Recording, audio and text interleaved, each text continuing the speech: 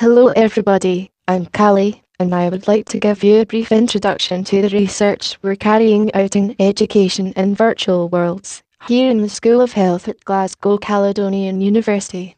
A virtual world is a simulated environment where users from all over the real world can meet and interact.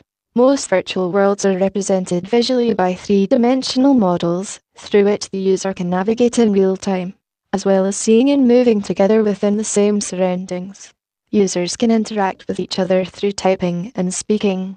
Each user is depicted in the virtual world by their avatar, a customized 3D model that represents themselves. The avatar is often recognizably human and may, or may not, resemble the user's real-world appearance, Throughout the world, many universities have set up their own virtual campuses to explore the educational possibilities offered by virtual worlds.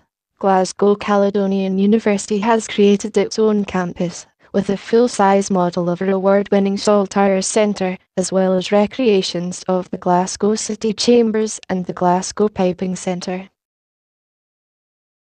Within the School of Health we are interested in using virtual environments in a number of projects.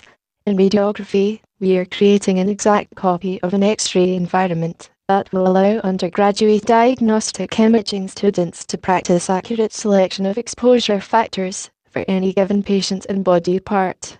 This will allow students to gain necessary practical skills in making accurate exposures in a safe way.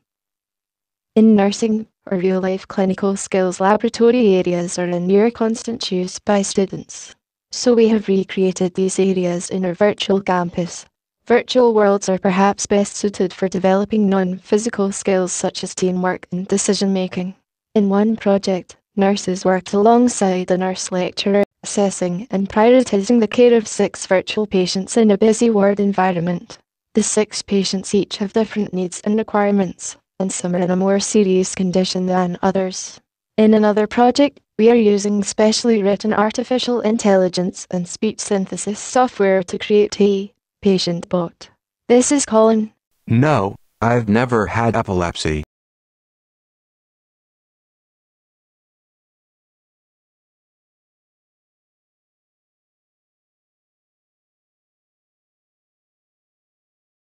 No, I've never had jaundice.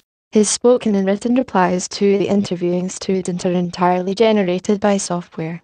He is used to help qualified nurses to take a diagnostic patient history.